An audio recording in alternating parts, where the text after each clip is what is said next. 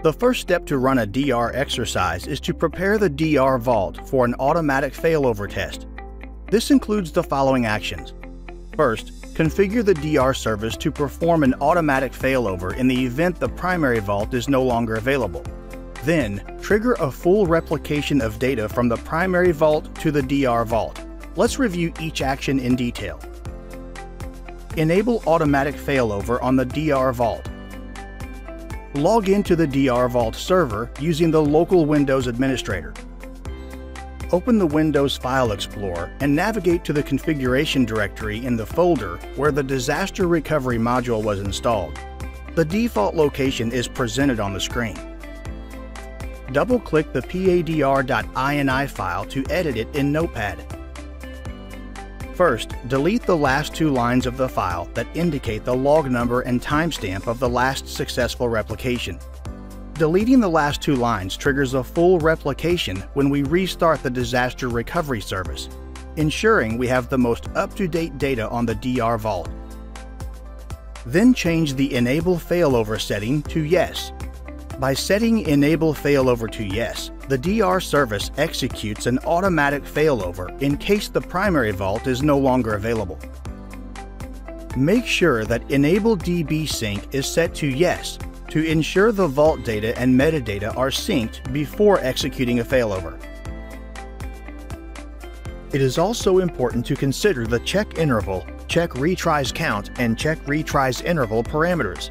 These parameters determine the maximum length of time it takes for the DR service to validate that the primary vault is down and execute an automatic failover. In this example, using the default settings, the DR service will execute an automatic failover after no more than 210 seconds from the moment the primary vault went offline. We will see this later in the demonstration. Lastly, note the failover mode is set to No. Do not change this setting, as it will change automatically after the failover test is complete. Save the file and exit Notepad trigger a full replication to the DR vault. The second and last action in preparing for an automatic failover test is to trigger a full replication of data from the primary vault to the DR vault. To do this, we restart the disaster recovery service. The service reads the changes we made to the padr.ini file in the previous step and begins a full replication of the data from the primary site in the DR server, open the Windows Service applet and scroll until you find the CyberArk Vault Disaster Recovery Service. Restart the service.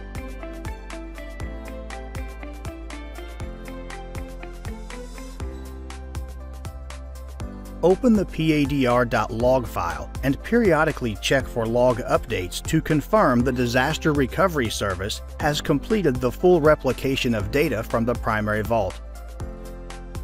You can also monitor the log in real time by opening PowerShell and running the following command. Keep monitoring the log in real time during the duration of the exercise. During this exercise, you should see entries with informational codes regarding the replication of safes, and at the end, a message stating that replicate ended. Once you see this message, begin the next step of the exercise. Watch additional CyberArk videos to learn how to perform other steps of the exercise in detail. For more information, check out our online resources.